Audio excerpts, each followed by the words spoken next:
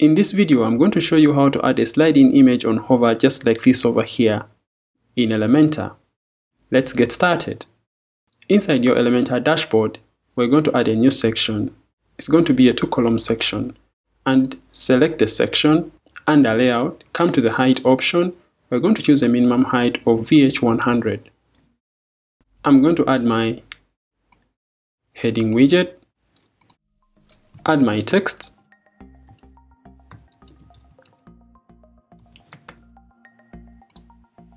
Under style, I'll change the color to white and the typography is going to be Oswald and a size will be 6.5 em.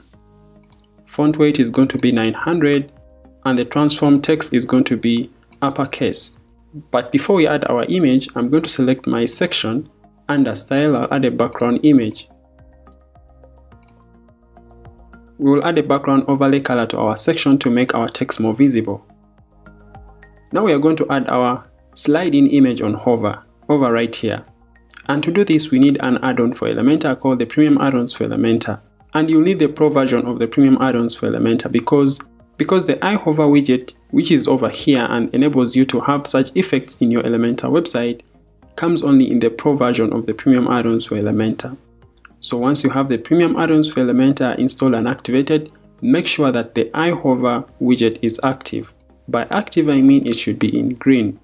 Once that is done, come back into your Elementor editor and over here you're going to search up for the iHover widget which is called the Premium iHover widget.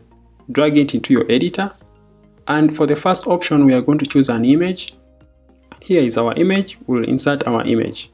We don't need the border radius so I'm going to disable that. And to disable that you simply just make it 0 over right here. Under content, I'm going to enable the icon option, but under icon type, we're going to choose an image. So over here, we're going to choose our image that will appear on hover. Here is our image. I'll insert that image. Now, we are going to add some custom settings over here. First of all, we are going to change the icon size from pixels to percentage and make it 100%. Something like this.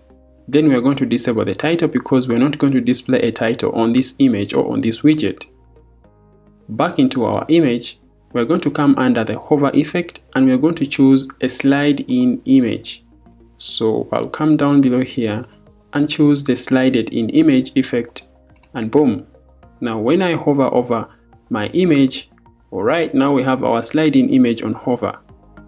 Once you're done, you can simply publish your page and then you can have a look Looks like our background is not fitting well on the screen. I'm going to go back into my editor, select my section and make my background image size to cover. Now when I go to the preview, now we have our background attachment covering the whole screen and on hover we have our image sliding. Beautiful. Let's look into the responsive settings of this section. Back into our editor, I'm going to select my section, come to the responsive mode under tablet, I'll reduce on the text size of this heading and I can as well add some padding and link the padding and on the left hand side I'm going to add a padding of 20.